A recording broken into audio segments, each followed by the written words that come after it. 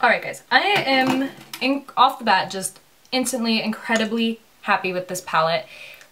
Like I mentioned earlier, they go on so creamy and so nice. Um, it's I'm actually very impressed. I'm more likely to try other palettes next. Like I said, I was turned off by the first palette I tried. This one, it's a completely different formula. It's completely different. Even doing my lower lash line, I didn't struggle to get the pigment out of Jelly or, um, I forgot the name already. Nuts About You. There was no struggle. And they blended together really nice. So the next thing we're going to try is the eyeliner and this crazy rubber smudger. So I'm going to try and do just a nice thin line on my lash line and we're going to smudge it out to kind of smoke it out in the corner. I'm not going to go too crazy with the wing today. Um, I feel like instead of bringing the attention to the wing itself, I want to bring more attention to the colors in the eyeshadow. So just one second, we're to get this on.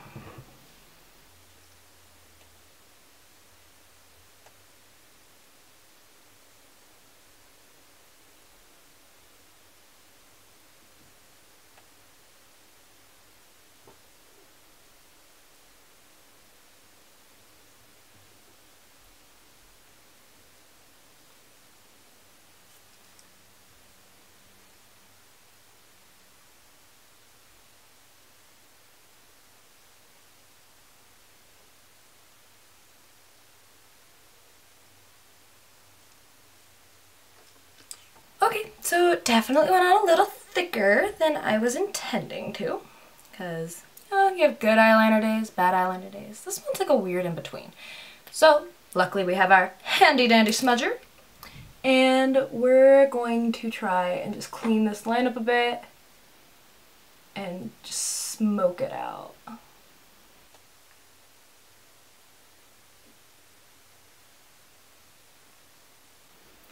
Okay guys, this is like the coolest thing I've ever used because the point at the end makes it really easy to bring out to a small cat eye. I don't know if you can see this too well, but I can't even get that perfect usually with the liquid liner. So I think I have my new favorite. Mwah. I'm gonna use this more. I'm, and it completely straightened out my really messy line.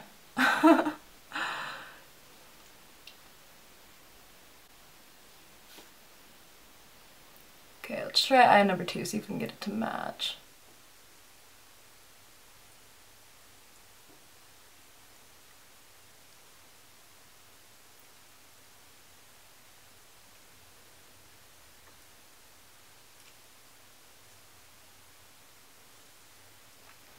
Alright, so we are pretty even. And like I said, it's a creamy formula. It's got this really cool little tool at the end. Um, it was sticking to my eyelids a little bit, but I think I'm more concerned that it's more about the fact that my eyelids are really dried out right now rather than the formula itself.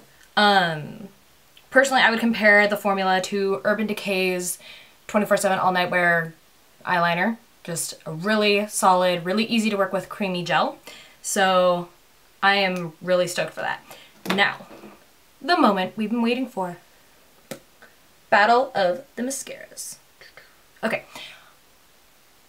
So, we are going to do Better Than Sex on my right eye and Size Queen on my left. So, and then, of course, compare, see how the lift is. I hope you guys are able to tell yourselves. If not, you'll just have to trust me. so, we all know how awesome Better Than Sex is, let's be honest here.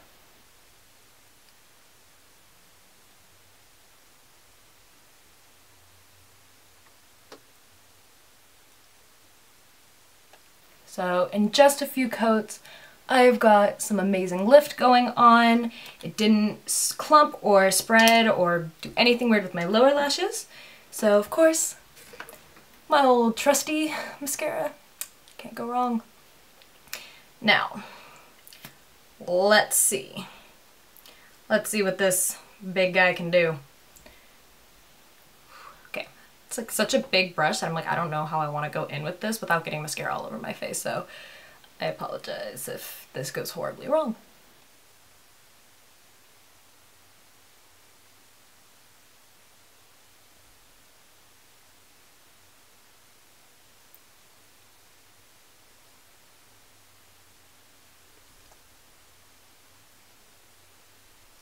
Oh, horribly wrong it went.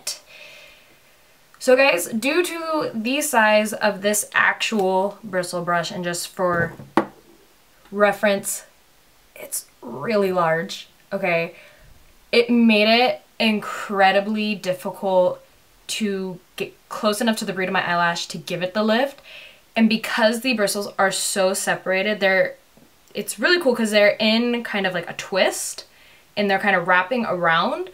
So I can see what their strategy was with this, but like I said, due to the size, due to the space in between each bristle, it just didn't work right and it was hard to work with. And the lift itself, it just, it didn't do much. What I will say though is I do feel like this would work better with blending your lashes into your false lashes. So after you apply the falsies, use this to kind of just blend up and blend in.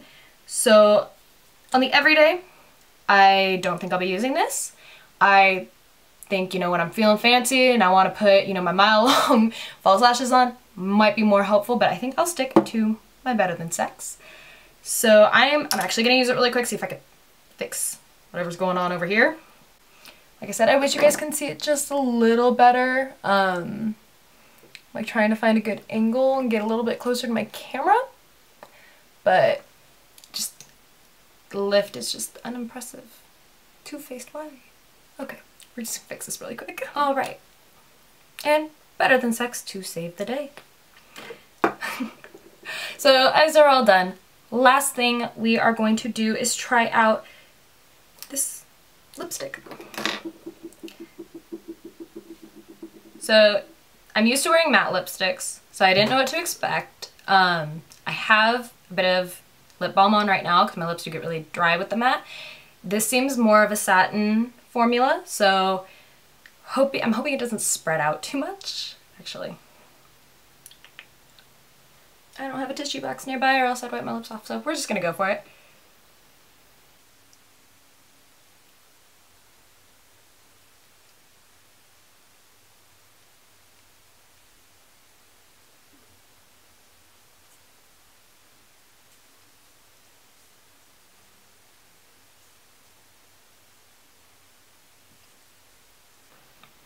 Alright guys, so due to the lip balm already on, it is creasing kind of bad, so I'm hoping you can't see that on film.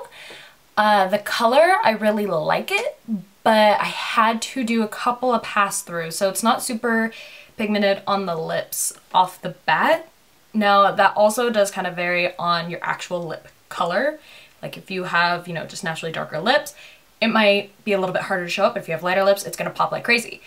I'm kind of in between, so I did have to do about two and a half-ish coats and then just really make sure I blended it together because it was creasing.